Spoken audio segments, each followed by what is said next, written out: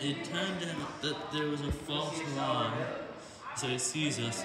I didn't even notice. I thought there was a fire, and it turned out no. It turns out this was a false one, and so I didn't actually have to leave the class. Whew, that was a good one. Lucky for me, I didn't need to. Like everybody to go the school. Wow, that is great.